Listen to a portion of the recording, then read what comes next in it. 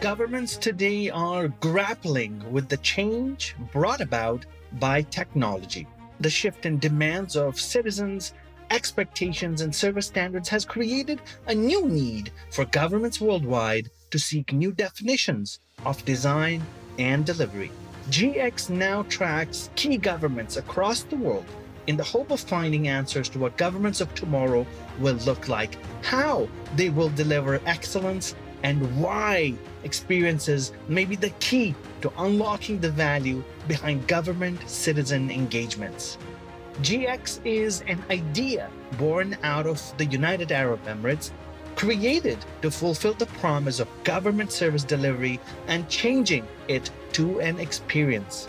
The model is now slowly evolving to become a template that can be used globally to create government service delivery excellence.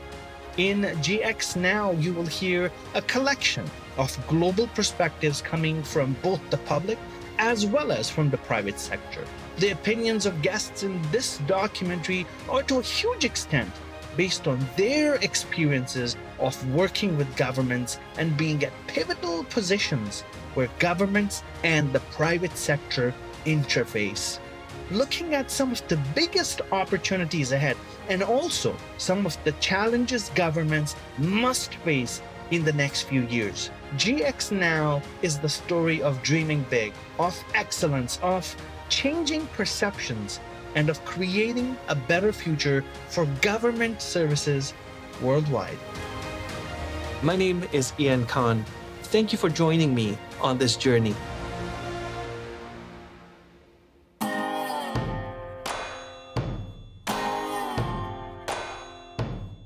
If you look at the current state of the government experience domain, there really isn't a standard. Everybody across the world is doing things differently.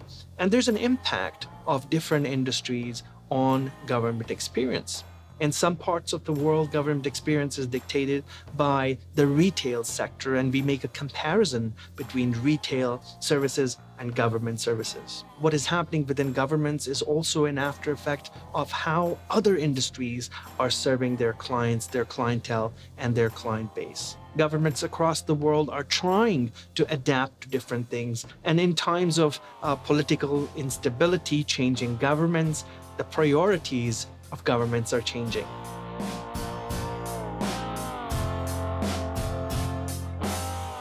Let's talk to Jonathan Reichental. I spoke to Jonathan about his experiences and the challenges that he's seen governments have across the world.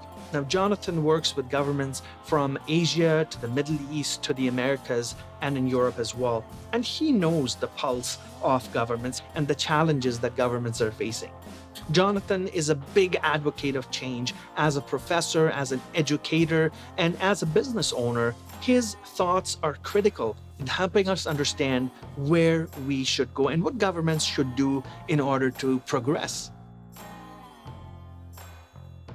One of the things I'm observing as I have the privilege to visit many different governments and cities around the world is number one, a recognition that communities have much higher expectations of service delivery today. And so if you're a community member, you know, you're used to using consumer apps on your smartphone or going to a website, and then you use a government service and it's not nearly as good, or perhaps it's not even digital. The sense is now that this is becoming, you know, no longer acceptable. We have to step the game up. One of the participants of the GX program is Jane Wiseman. I spoke to Jane about what are the challenges of government and what do governments in the Western world face, especially in the United States, and what are her experiences of government service and government service excellence. Half of Americans can't tell the difference between a Google search result and a Google ad. We need better data literacy so that we can be savvy about what are reliable sources of fact.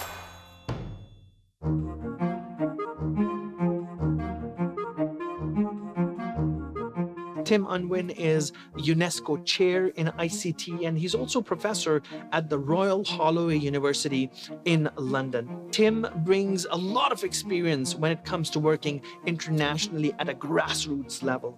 And what's the state of government experience and services in Europe?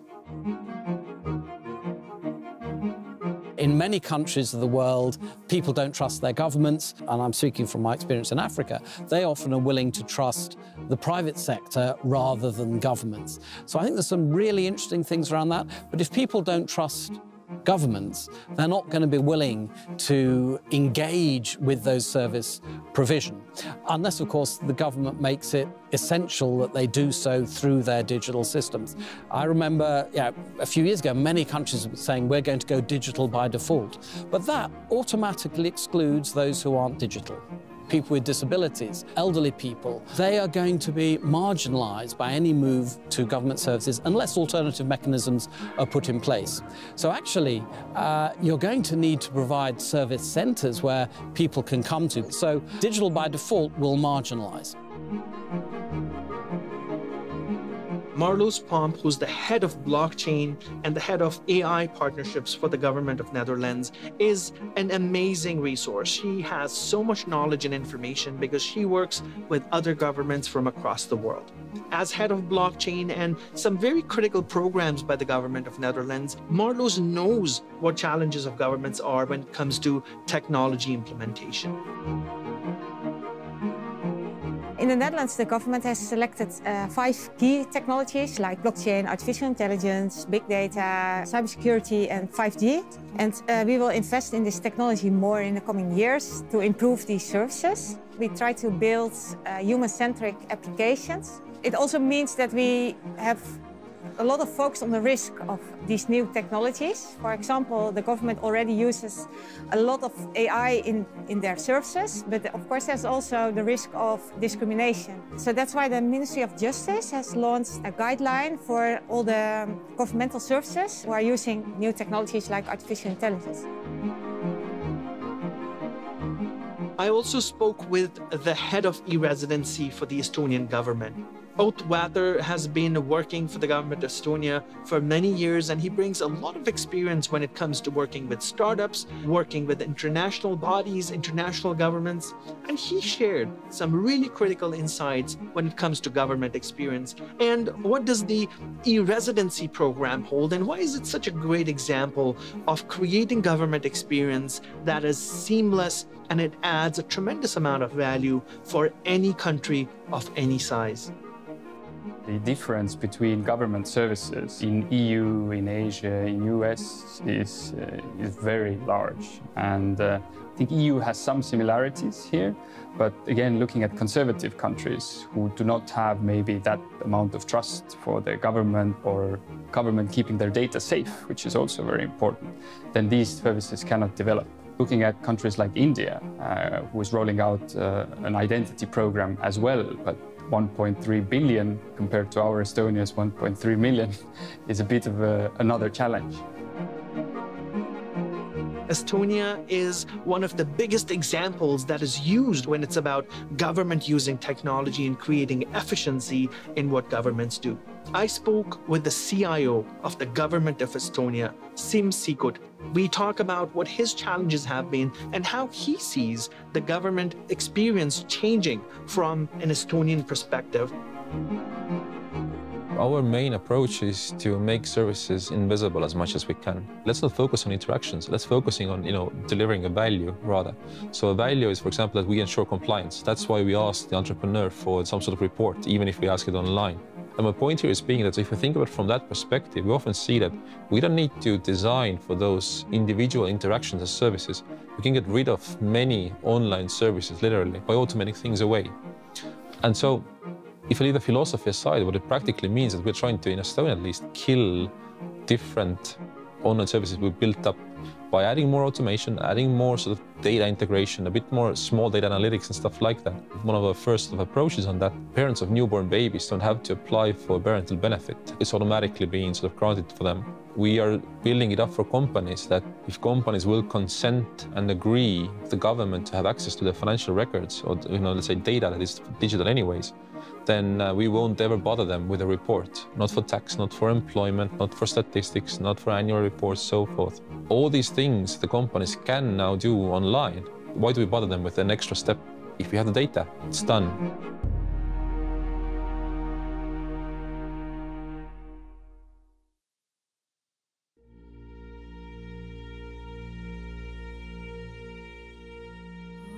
There are definitely outliers and there's definitely countries that are making a solid effort in the right direction.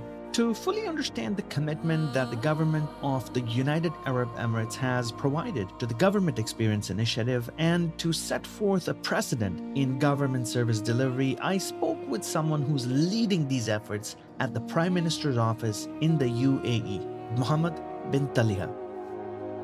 In the past, the focus was more on how we build the services in terms of processes, in terms of transforming services from being manual to becoming automatic and paperless. However, the customers today look for services that are more towards their experience in other parts of services in the world that they are familiar with and they would like to see government services being delivered in a similar way or even better. Alain Bejjani is the CEO of the Majid Al Futtaim Group in the UAE. The Majid Al Futtaim Group is one of the largest groups managing retail in the Middle East. Alain shared a lot of critical insights how the retail sector affects government, how governments can learn from the retail sector. Alain also works with the World Economic Forum and different governments and bodies in creating thought leadership ideas and initiatives that affect governments worldwide. The fourth industrial revolution is a reality. We're in it. And I would say it's very important that the rate of change on the inside be at least equal, if not, if not faster, than the rate of change on the, on the outside. It's also allowing us to be able to deal with some of the endemic issues that we couldn't deal with before. Technology today presents that capability to do that, and it's becoming more ubiquitous, more affordable, and more simple to use. It's now on us our generation of leaders to make sure that we turn this into the opportunity that it actually is and to make sure that we can drive sustainable economic growth, employment creation, job creation, and we can drive a better integration of our societies in the world. Fadi Al Hindi is the CEO of an AI based company focused within the insurance industry, but he brings a lot of critical insight to the idea of GX.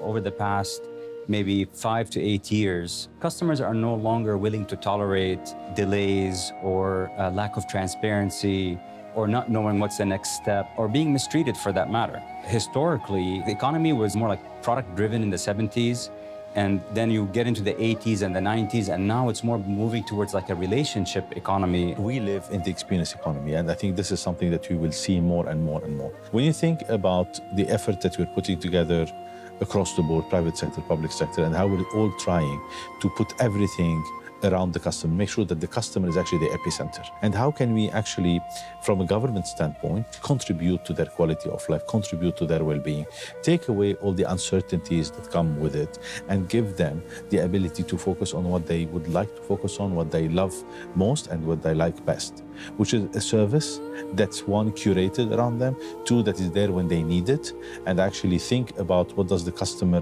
slash citizen need and not what does the government need. For a very long time, governments have been focused on actually designing services or they're implementing those designs in a way that suits the governments from different perspectives. And I think what we're seeing here is actually a total reversal. I spoke with government in Azerbaijan and the head of the Asan Service Center. The Asan service centers have completely changed the idea of service delivery by bringing together different vendors and as many as 300 plus services at one place. It has radically changed how government is delivering services at a service center level.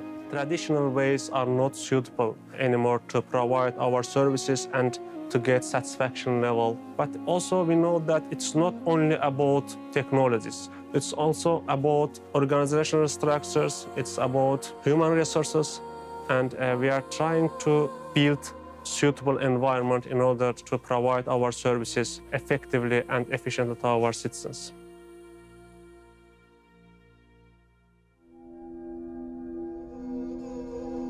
Where the government has placed an incredible emphasis on this is the recognition that everyone is different. And a tremendous experience is often not something that is entirely frictionless, like booking a train ticket. It's not that difficult to say, what is the station you need to go to, what time, where are you leaving from, and how many passengers are there. That's a very automated process that has almost no variation. But when you're trying to change your name and actually the options that you're going for are not available, or when you're trying to consume healthcare services and you have two children who are naturally born one is adopted, these are the type of unique situations that actually, when uh, organizations are able to deal with that effectively, that's what makes people feel really good about it. Because it makes it feel like they actually understand that there are very personalized requirements that, that citizens have. If you sit at home how is your feeling about the services you get from the government? Are you worried about missing out or forgetting about paying your bills, your utilities bills? Or are you comfortable because you know that it will automatically be processed through your digital assistant? That kind of level and that kind of experience is what we're seeking, where a customer does not need to worry everything runs in the background on their behalf. Consuming government services anywhere in the world is normally met with the thought of bureaucracy and lots of paperwork. I think what's different here is that there has been an incredible focus on making sure that the pain and the friction that normally is involved with the yearly renewal of services has been taken away. Now, whether that is having your car renewed, which is almost entirely a digital transaction now, um, whether that is your national ID, or whether that's just paying for your parking through your mobile phone, Everything is now interlinked. And what is very neat is there's a, a single portal app where you can then go on and whether it's hospitals or funeral parlors or government service centres, all of that information is now housed in one place.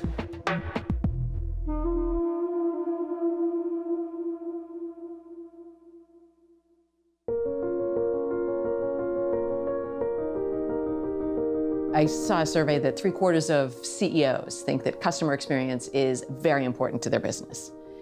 But there's no such survey in government. I don't know how many government leaders think that customer experience is top priority, but I'll tell you there are 10 million government employees, and it's not top priority for everyone. So let's say you have to go to a place, you have to go to a physical place. What's the experience like when you get there?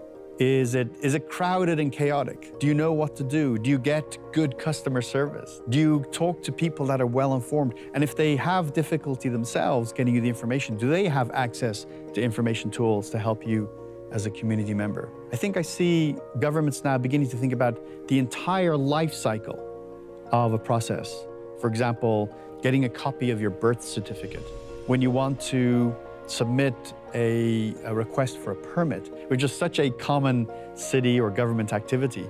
It shouldn't be as hard as it is today. People don't look forward to that, and the experience should be better. You should be able to, and increasingly, request a permit online without having to go to a place and take a number and wait and spend half your day uh, in a government office. In the United Arab Emirates, we focus on customer experience from their live instances. So for example, if the customer has a newborn baby, we look at, at that as an, a, a point of life where they need government services about having a new baby. Therefore, we started looking at it from a bundling perspective. So instead of a customer looking at uh, which government entities or, or uh, government service centers they should visit, they just know what bundle they want. I'll give you an example of one of the services that we have. It's called Mabruk Mayak, which means congratulations on you, your newborn. And it bundled more than seven services into one step and more than five payments into one payment. And to get everything related to this newborn within three hours now using this bundle. We are now moving from a one-stop shop model to non-stop shop model. In Asan service centers, we are providing reactive services to our citizens. But now we started launched new project, uh, which is called MyGov. My Government project, and it's about providing proactive services to our citizens. For that, we are uh, very widely using data in order to predict expectations of our citizens and uh, in-house by the government, we are trying to involve the companies to this process as well.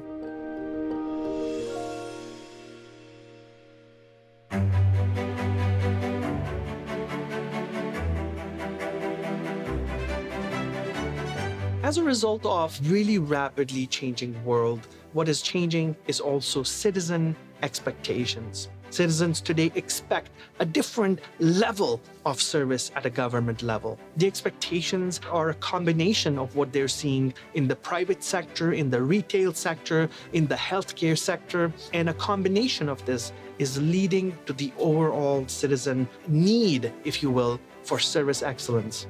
Today's citizens, you and I, we all use smartphones and technology to make decisions, to access services, and it's very common just to expect that every service should be available on a cell phone, should be available on a mobile device. But not all governments have been able to translate services from a service center to online. Most so called governance agendas are actually about governments providing services to people through technology. So we can see uh, government websites where you can access forms to fill in passports or licenses or pay tax. That is a really interesting change of management structure. In the old days, governments had lots of civil servants, lots of people working for them to do the paperwork. Now, the effort and load has been transferred back down to the citizens. It's like in the old days when you might attend a meeting. Somebody would send you all the paperwork in advance. You didn't have to do anything. You just read the paperwork and uh, took it to the meeting. Now you're sent the files digitally by email or another online system, or even you're expected to go online to download those forms yourself, then read them, then perhaps print them off because you might need to take them to the meeting. So that is a shift of labour from governments to citizens or from organisations to employees. I hate having to log on to three or four different sites every day to get information, whereas it could easily just be sent to me in another form. The standard rhetoric is, is of course, that it makes it much easier for governments uh, and citizens to interact on key things that they need to do. And that undoubtedly have its advantages. It's, it, it's very easy now to submit a passport application online or your tax forms online. Second point, though, is, and, and I'll use the example of our own government digital service. There are many great things about gov.uk. However, if you want to find out anything from the government website about a government department or what it does, it's almost impossible. And I think that is uh, an indication of this difference between government service provision and the relationship between governments and citizens and the openness and the transparency around that.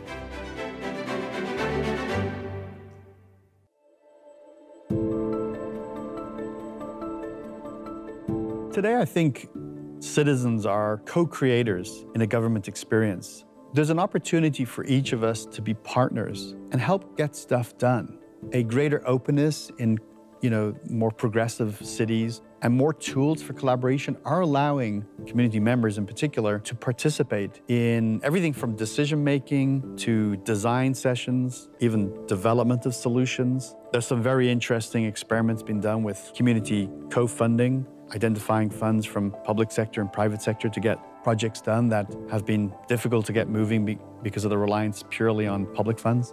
If a government makes available data and a community member says, hey, I could build a solution using that data, wow, what, that's a great relationship. That's a great partnership. We have software engineers now who can step up, create interesting solutions, or try to make sense of data and serve up the analytics that helps decision makers make better decisions. That's a relationship we've never had the tools to be able to do before. A good democratic government experience is, is not a spectator sport. It's, a, it's, a, it's something you participate in.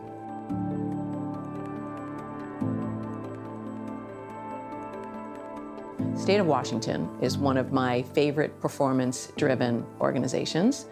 Have something called Results Washington. Every single metric about state government is available online, drill downs to get greater detail. And when the governor hosts a results meeting, the public is invited, it's streamed live online but they also include a customer or two or three in every single meeting. So if it's about youth development, there are actually youth there giving feedback to the government about how the services are improving, where they need more improvement. So that's a great example at the state level. And right now, 90% of our federal government websites are collecting customer feedback and trying to iteratively improve. My takeaway is that it's really interesting what's happening in the world today. The amount of data that is generated on a daily basis is just mind boggling. Yet, you talk to a lot of the enterprises, you talk to government, you talk to uh, private sector, you talk to large corporates, and they will tell you that they have poor data, issues with quality, there are gaps in the data.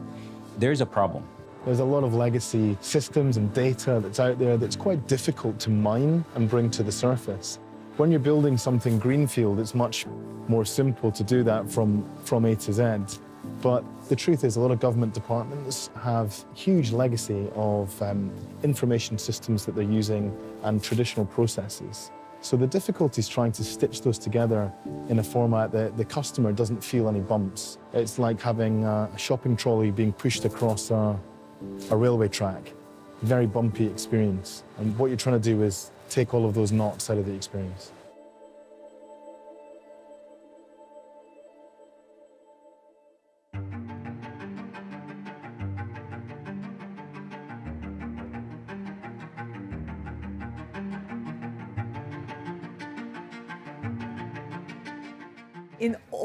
All services you need a form of identity, but it's identity, it sounds like there's only one identity, and I expect you have several identities which you can use. So I will use another identity to log in in my, for example, in my Google account, then I will use for uh, a governmental service, for example. I hope these digital identities, uh, several identities, are owned by me and are controlled by me. The state of Indiana recently created a single sign-on so that I can get my park permit, renew my driver's license, you know, certifications, any government activity that I'm doing with the state is all under one ID so that I don't have to continually re-enter my information. So that's wonderful sort of one-stop shop. But, you know, we're still a long way from being able to integrate from the federal to the state to the local with a single identity. And, and I think it's probably worth being careful about this because with a single identity in government comes risk. You know, could it be hacked? When it's done by the private sector, government doesn't have the control and can't police it in the way that might be necessary. So for example, in the US, we have, for the ability to travel, the Transportation Security Administration is responsible for issuing TSA pre-check, you know, so that they vet me and then I can go in an express lane. Well, there's also a private sector entity that's doing that. What is the fundamental role of government? Should it be the government that says who can get on a plane and is safe to travel and who isn't? If you let the government have all of your identity, what might they do with it? I often liken this to what happened uh, in Rwanda, where the use of older digital technologies, radio, for example, enabled many parts of the genocide there to happen more efficiently. So if a government knows everybody's identity and where they live and everything about them, what can they do with that information? For migrants, it's very often issues around whether qualifications, for example, gained in one country can be compatible with those gained in another country. Imagine if everybody had a digital identity that they could take with them so that if you're moving from Kenya to South Africa or from Haiti to Brazil, actually you can take your identity with you. I think that raises really exciting possibilities, uh, not only for migrants, but also for governments. If we could get global agreements around what the parameters and what the credentials in digital identity meant. That could be really beneficial. So it won't be one technology which will solve the digital identity uh, topic. It will be a combination. And at this moment, we really try to figure out how can we combine digital identity with uh, privacy-preserving technologies like uh, zero-knowledge proofs or multi-party computation. I think this is a really interesting area to explore at an international level.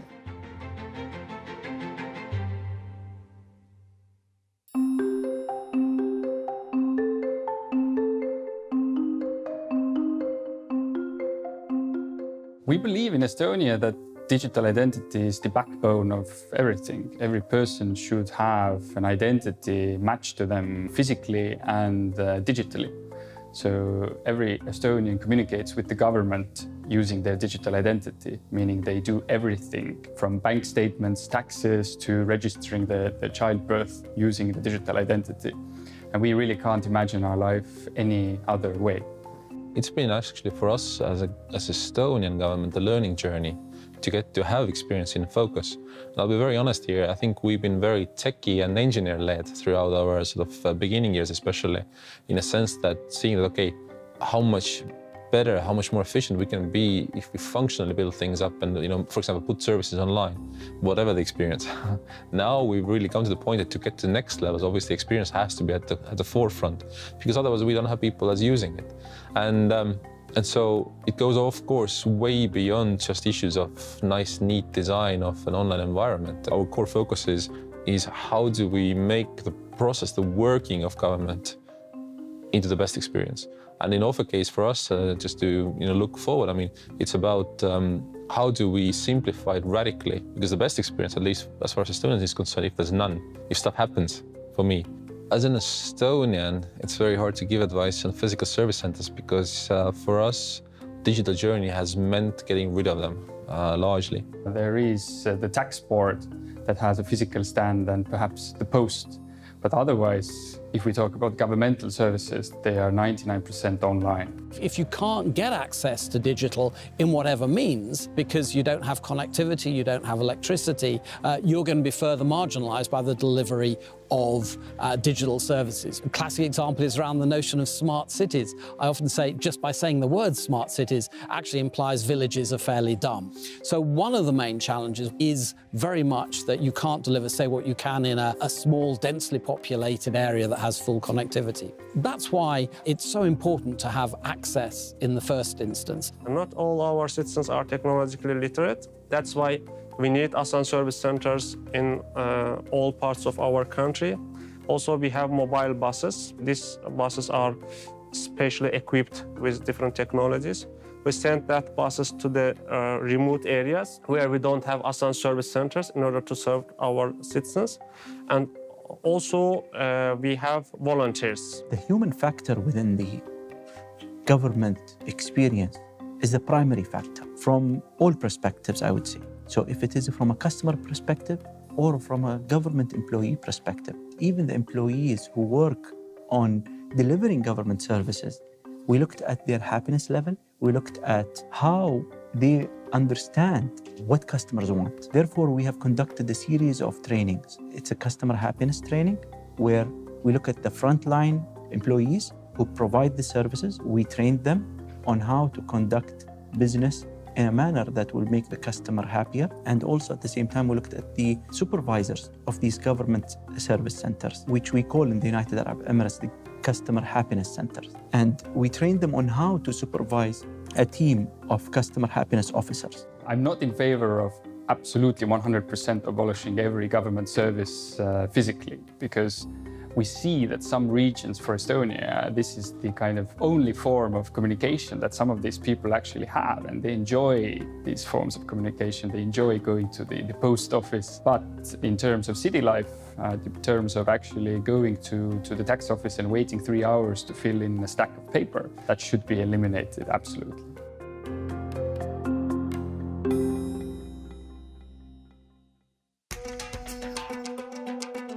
Shape government services is really clear. We need across the board a template of excellence. We need something that can be easily adapted, easily deployed. For example, if a country has a model of excellence, is that model able to be replicated across different groups, across different departments and ministries? That's exactly what is needed. The GX program in the United Arab Emirates is an excellent example of that. Government service excellence is a top priority for the government of the UAE. Things such as tweeting about the rankings of government service centers is not very uncommon in the UAE, and this is how leadership runs the country.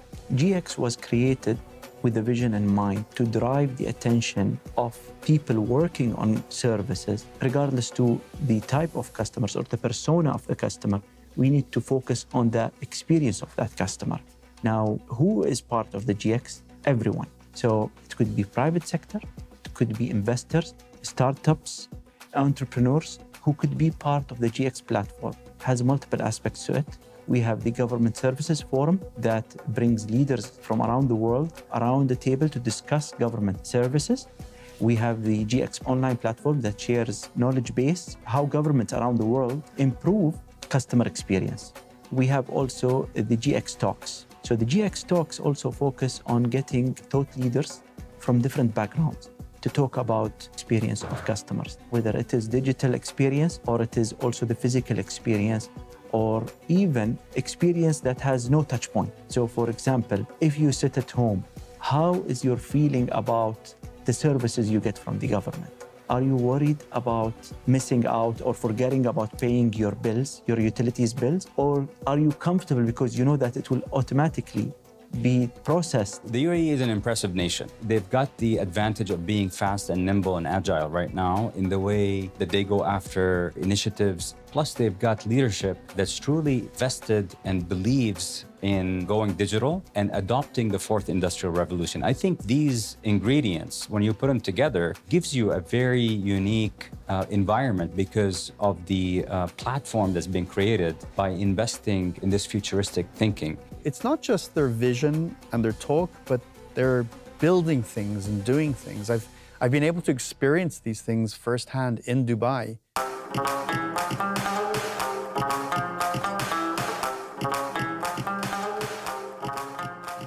For example, their concept around the, the future police station. It's a beautiful experience. People feel safe. And a lot of it is done by use of digital technologies, assistance from the right resources via video conference, which I thought was, was incredible. You see a lot of experimentation and prototyping. You see very bold projects, everything from Smart Dubai right through to the paperless society, thus making the cost of government be less, data to be more accurate, all the benefits we would expect. One of the big ones, the environmental positive side of not having all this paper. They're doing the things, they're demonstrating, they're experimenting, they're helping other communities and cities and governments around the world see what's possible, sharing these insights with the world and wanting to create things like the GX Forum, which becomes a global platform to say, hey, you know what, there's different ways to have a government experience. We've got to be able to create channels that takes these best practices, the stuff that goes well, and maybe even the learnings of the stuff that doesn't go so well all the time, and share it with governments in, in every corner of the world. So I think the thing that's important about it being an international conversation, and frankly,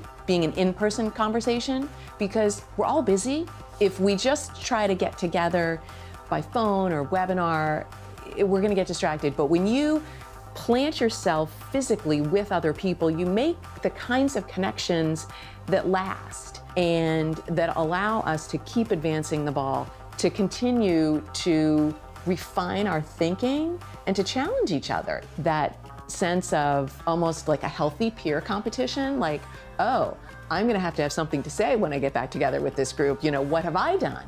What do I bring to the table? So I think that's a, a, a real value that we can see in this group. It's really necessary to have experiments within your own organization because otherwise it's too complicated to have these discussions with other partners to develop services. So you must test and explore a little bit within your own organization. You must train your uh, employees. There are hardly any projects where you don't have to collaborate. So it's really important to learn how you can build firm coalitions and what kind of agreements do you need, uh, the legal issues around these collaborations, the governance models. Of course, it is very difficult to implement ideas as it is because every country has own culture, has own tradition, has own environment, and you can see how they uh, challenge in that environment and how they solve that problems uh, during the uh, implementation process. Initiatives like this can often tend to be wanting to come up with the best global solution. But these ideas are evolving, the relationship between citizens and states is evolving,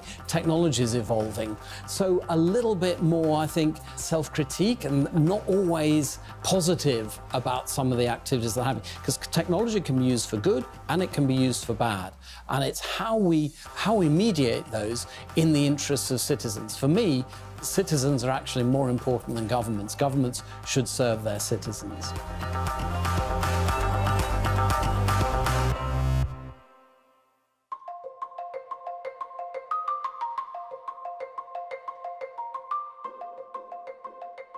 We have learned from e-residency experiences to try to put yourself in the shoes of the user because we see quite often that that's what government officials are lacking. So they sit in their silos and they don't talk to the users. They don't understand the needs of the users. In the age of smartphones and all of the private sector services that we actually consume all the time, we can't expect our governments to lag behind. We believe in Estonia that governments can never compete with private companies, and they shouldn't. But governments are the ones who have to offer government services, so it's time to actually go together with the trends, uh, what's happening in the world.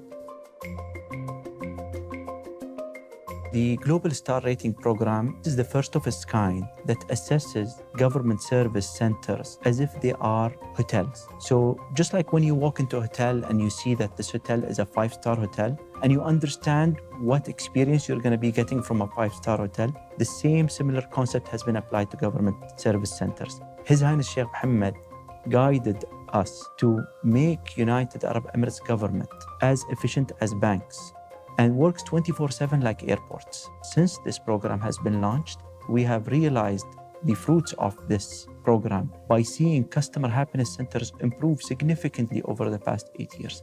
The Edelman Trust Barometer ranks the UAE very high, the highest, if not the second highest in the region, and one of the highest in the world, I think, with 84% trust. The UAE has always designed its government services and looked at government services as actually an enabler to society. Today, the UAE is looking forward and say, I want to do even more and even better. I want to be even more customer centric. I want to make sure that my government services are actually not just the best in the world, but the most satisfactory in the world for the people that use them. And actually, how can I enhance their life? How can I actually add value to their lives. And this is something that we're seeing happening day in, day out. This culture of transparency that's coming across more and more in the UAE. In order to be the best in the world, we have also to hold up the mirror. And this is something that we're seeing happening, and I think the government is leading by example.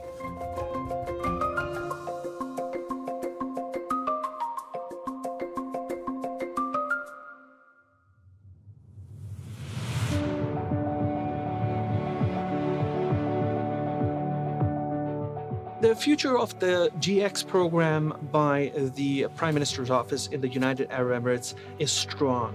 It's something that's tangible. It's something that can be developed and adopted by every government service program in the world. But it needs work. It needs work because implementation of these things is complex. You need stakeholders to agree on these things. You need to get the buy in from people who run governments. And those are some of the challenges that other governments might face when adopting this program. We live in an era of disruption, fast changing expectations. In order to make the world a better place, we will have to play the game in a different way. Whether it's GX or any other program at a government service level, it needs the commitment of the leadership of these countries, of these departments and groups. So, this is an amazing time. There is so much potential, and we need two things. We need number one, to listen, and number two, to act. And when you put those two things together, it makes a huge difference. So, in the US, the Veterans Administration, which serves former members of the military who are now back in the country, they started a customer satisfaction survey. And it turns out people who responded to the survey and gave feedback were four times more satisfied with government than others. Now, don't know yet whether some of that is uh, sample bias, that those who decided to answer the survey were more satisfied, but to me, it also says that there is power in just asking for feedback. When you engage the public, they become more excited.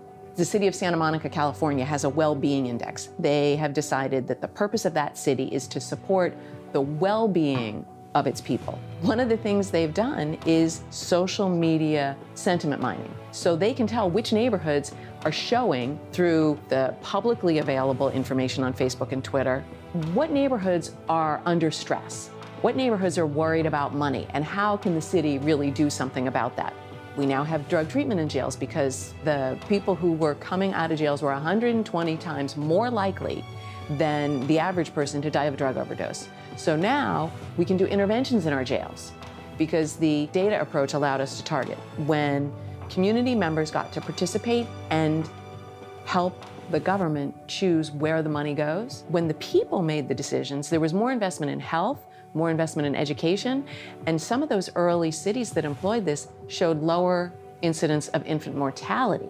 You know, five years, 10 years from now, I think we're going to have a much higher level of trust in government because with all of these new ways of engaging the public, there are untapped ideas and resources and potential for really making government just far better than it's ever been. We are planning to implement personalized services for our citizens from any country, from any place, and without any barrier. And to be accessible and available, for that we need also to implement new technologies, AI, machine learning, deep learning, and other technologies. Now we are implementing shared cloud-based document flow system, and it helps us to reduce the cost for building that services and to optimize that processes.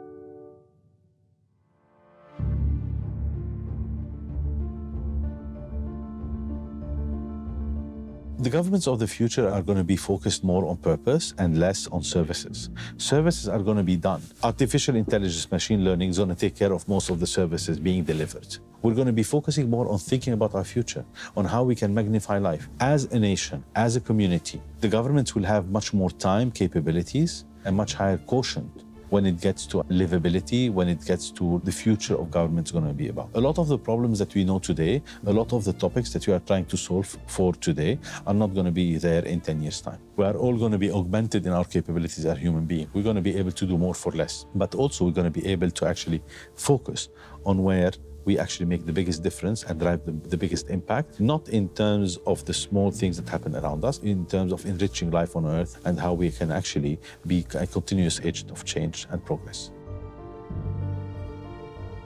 I believe that AI is definitely going to be the next cycle of major revolution in technology. And what we're going to be able to do with it are a lot of uh, products and services that were not possible in the past.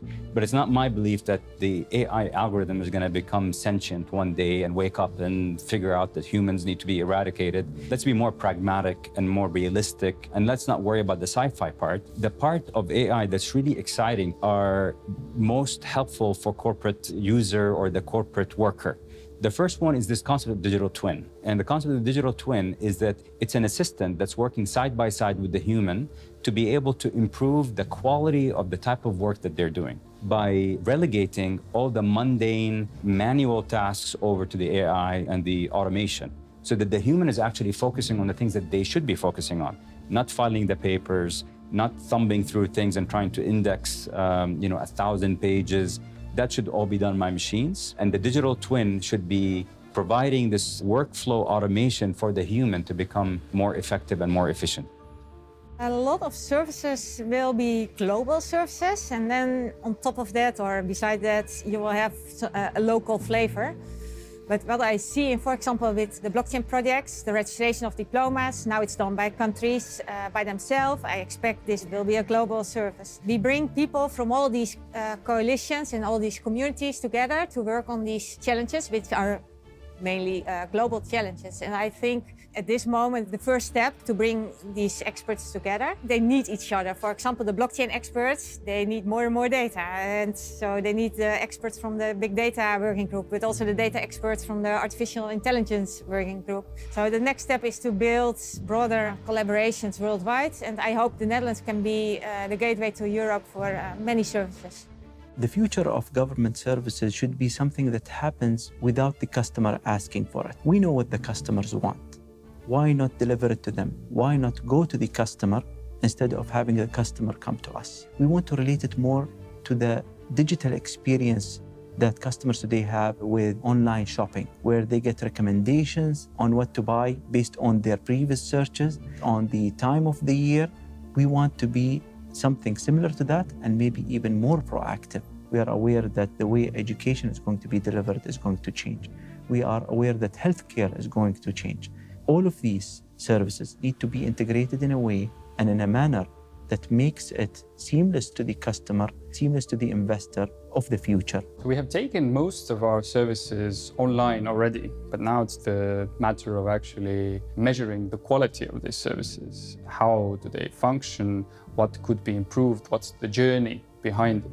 You can do most of the stuff online, but we still have lots of relic uh, in the process. In Estonia, when we opened up our services to non-citizens using e-residency, that means that we might have some Estonian documents from time to time pop up to the foreigners in our systems. That's something that needs to be worked on. We're working towards uh, the perception of having these uh, seamless background services. Once you are born, we already know your name, we know your birth date, we know quite a lot of things about you. Same for medicine, for example. We're looking at some of the ways where we can predict what illnesses you might have or, or what's genetic about you and, um, and the like.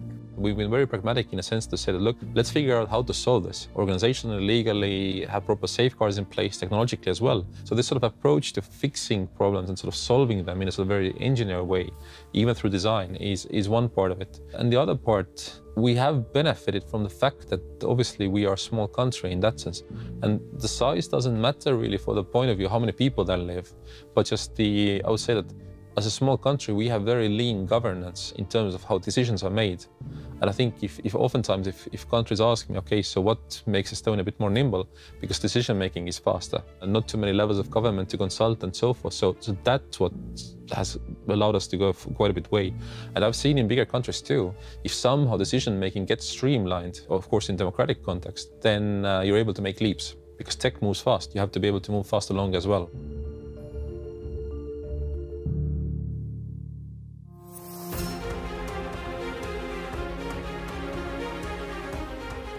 What will really change the world is when enlightened progressive governments are able to easily connect with enlightened active citizens. I mean, because that's a potent force. You bring those two things together, and we can do some really amazing things. This sort of tension that exists between communities and, and governments, because you know, communities have great expectations and governments try hard, but they, they struggle to, to meet those expectations. In a digital world, you can deliver more consistently and getting access to information and data when they need it, creating more of a seamless channel between when the data is created by government or collected by government and the desire to be able to access that simply because we want to know what government's collecting on us, but also to be able to make better decisions and to develop solutions.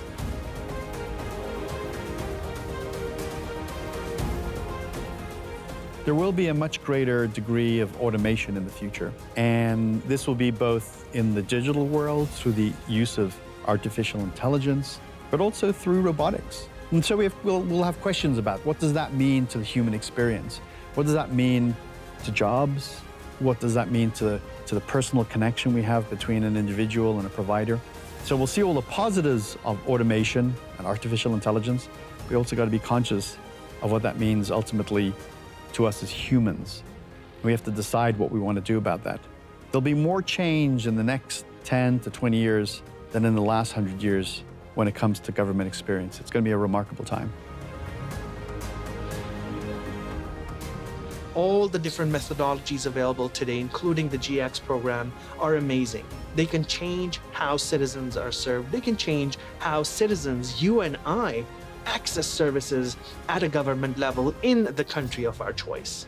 I really believe governments need to look at GX as a program that can bring a new wave of energy, that can bring efficiency and accountability in their governments.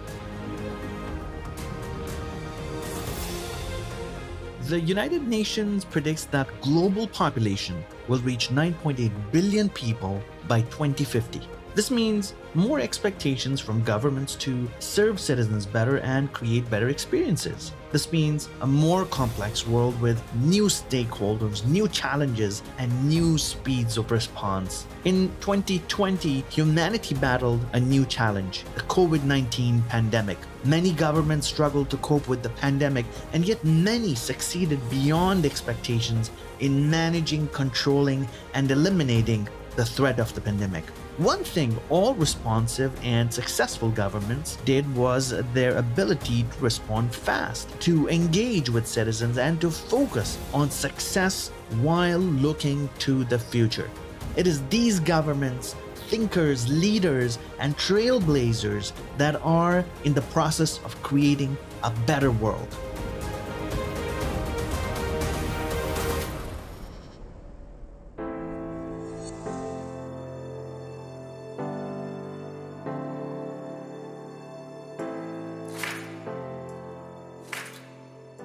If you believe that there is a social contract between the governed and the government, then the thing that governments need to keep in mind when they provide services is what people really want to get from that relationship. Sometimes the solution that will work in one place won't work in another. So being very curious about the histories and cultures in which you're working in order to match up the services with uh, the particular residents or citizens that they're serving, I think is a real leadership skill. Making it an outside in approach to services delivery as opposed to inside the government out uh, is a change of, of a paradigm of how government traditionally develops and delivers policy and then thinks about service delivery. Challenges that governments face are no longer technical in nature. Those we figured out how to solve. The problems that are facing governments today are more around wicked problems, such as how do we solve homelessness? How do we improve uh, food delivery to people? How do we improve people's quality of life? We started with public policy focusing a lot on markets and market failure and how government had to solve problems of market failure. I think that's still an important thing, but I think we have to go beyond that now and understand that equity and justice are really important factors that we have to take into account and figure out how we can devise public policies that make sure that we're being equitable and we're being fair and just. There are places that are excelling in doing digital services, but I have yet to see a government that then harvests the data on the back end for customer insight, for predictive analytics, you know, geospatial analysis, and really optimizing performance. Just because you have a large, large data set does not necessarily mean it can help you uh, in any way if you can't unlock value or information from that raw data. And so the way I think about how government can play a role is to really focus on information that's valuable for constituents, for policymakers, for citizens, for residents, for, for visitors. Use that information to all be on the same page for what success looks like uh, and how to assess whether or not you've hit criteria that you've set, and then ultimately learn and iterate from there.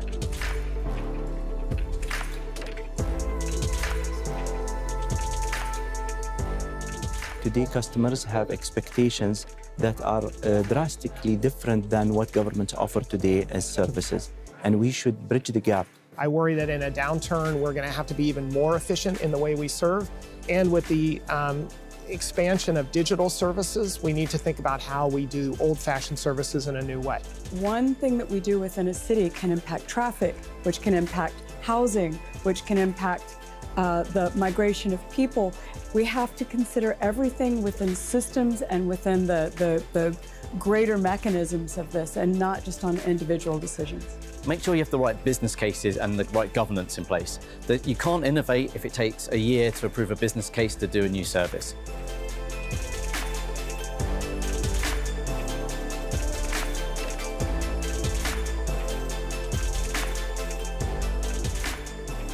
The one thing that government needs to focus on primarily is really trying to understand community needs at the very micro level of a city. And using technology is one way to be able to do that, but also being able to embed themselves within communities deeply to understand the greatest challenges that people face, are facing, and then being able to use that data in a way that can actually affect change. This next generation cares more about issues like the planet issues about housing equality um, than previous generations, but I think we have to make government attractive to them.